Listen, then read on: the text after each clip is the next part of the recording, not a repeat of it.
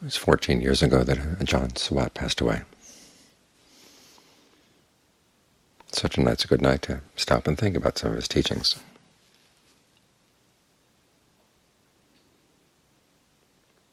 He'd begin his meditation instructions by telling you to develop a sense of conviction, a sense of confidence, both in what you're doing and in your ability to do it.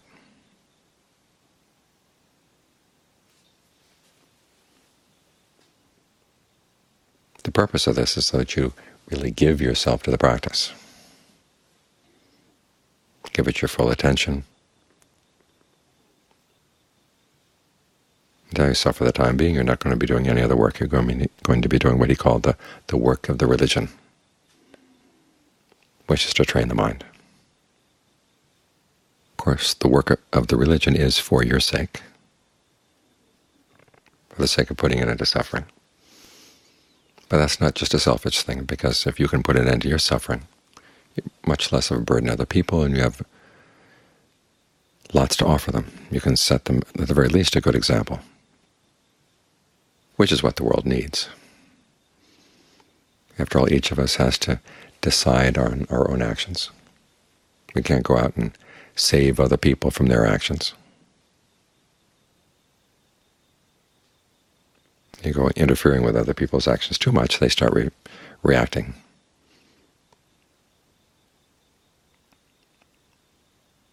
But you can have the influence of your example. And so the example outside has to come from within to be a thoroughgoing example. That's why we train the mind. And because the mind is so complex, it does demand your full attention when you're training it. It's as if you have lots of little minds in here, like a mother chick trying to gather all of her baby chicks together. It takes a while to get all your little minds into one mind, to gather them in one place, right here at the breath, and to keep them there.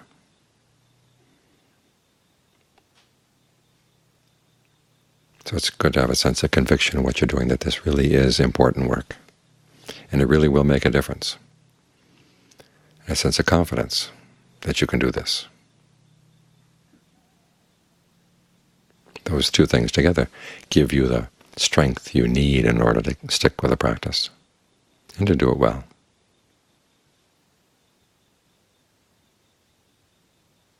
Another one of Ajaan Suwat's teachings was that when you're sitting here and you notice anything that's a disturbance in the mind,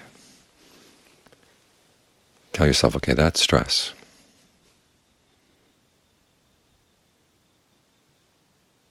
The extent of the mind is quiet, okay, that's the path to the end of stress.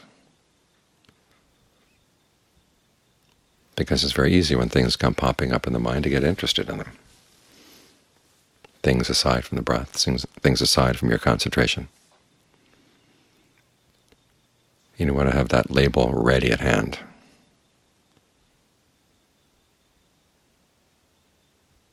There are a couple of passages in the canon where they talk in these terms that whatever arises is stress arising, whatever passes away is stress passing away. That's the basic label you want to put on things, at least while you're sitting here with your eyes closed. As you're engaged in the work of the world, then you have to take things on in other terms. But for the time being, you can free your mind from those things by saying, well, that's just stress. A thought about work comes up, that's just stress. A thought about other people comes up, that's just stress. Whatever comes up, it's just stress. You focus on developing the quiet that you can develop around those movements in the mind.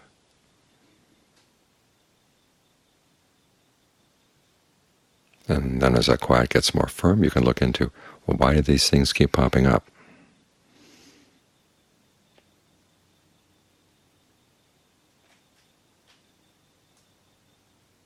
Means you have to look a little bit deeper.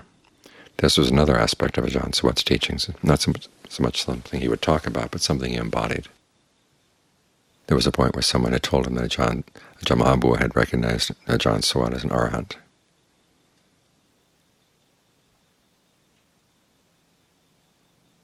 And he wouldn't let himself believe it. He kept looking, looking, looking in his mind.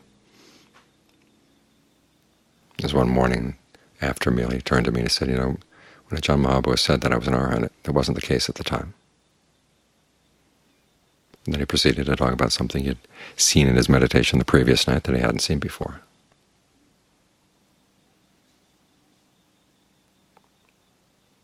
Which meant that he didn't rest content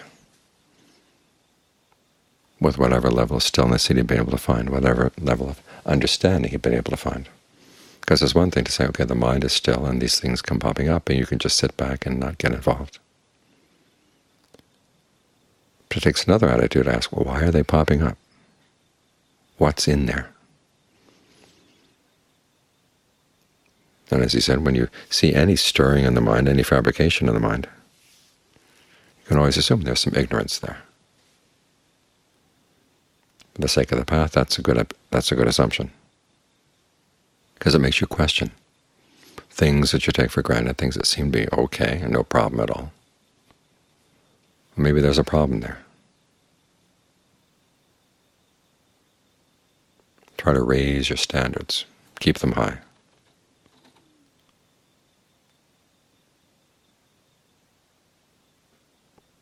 So your confidence is not just the empty kind of confidence that grade school teachers try to give their students when they put little gold stars all over their papers.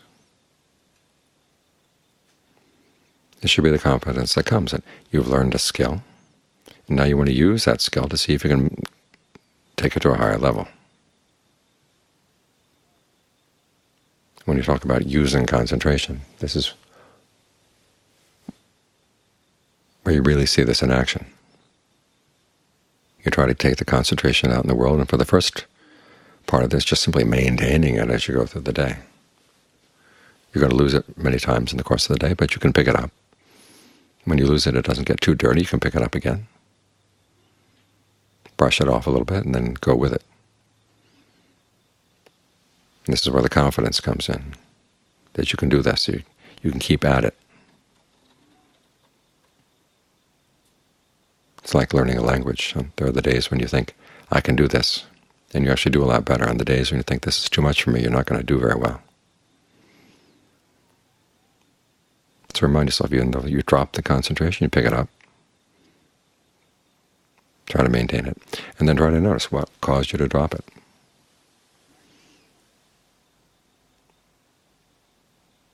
That's when you begin to see into the mind the types of things that pull your attention away. And you ask yourself, why? What's the allure there?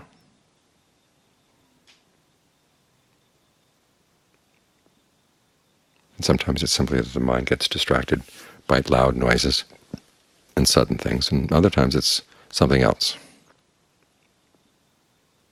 Something is popping up, a little defilement in the mind.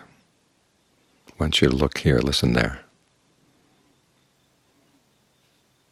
You've got to watch for that. It doesn't mean you don't, you don't look or don't listen all the time. Sometimes you look or listen, but see okay, what's being fed here. And then if you try to stop the looking and listening, what part of the mind complains? The more stillness you can get in the mind, the more easily you'll be able to hear these things. You're lowering the level of background noise in the mind so that things that were buried in background noise, buried in background noise before come to the fore, come out into the open.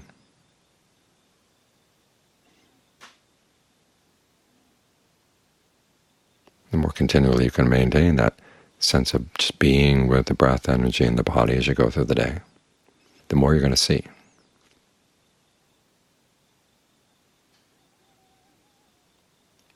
because it gives you a sense of comfort, a sense of well-being. The more easily you'll be able to admit when something is going off course. When the mind is feeling weak and hungry, it'll make excuses for all kinds of things. But when it's well fed, then it's in a better position to say oh, that something is really going amiss and it's nothing you want to identify with. So simply taking the concentration into your daily life and trying to maintain it throughout all your activities helps you see a lot more clearly what you need to abandon in the mind and what other things need to be further developed. The steadier your concentration, the more you'll see. Because sometimes the concentration on its own is not, enough to help you undo some of the attraction you find for things that excite greed, aversion, and delusion. This is why concentration on its own is not the whole path. There are other factors as well. But as the Buddha said, it's the other factors are supports for the concentration. So it becomes noble and right concentration. It really does the right work in the mind.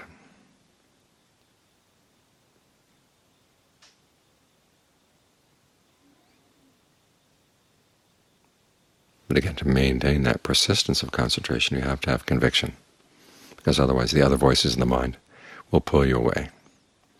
Say it's too much to do, it's you're asking too much of yourself, and you're being too hard on yourself, and it goes on and on and on.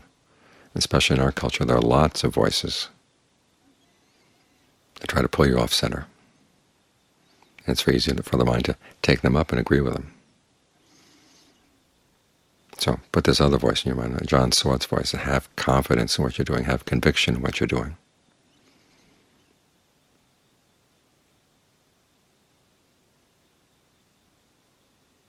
Because it is the work of the religion, and it's work for your sake. For the sake of the best part of you, the part that wants true happiness.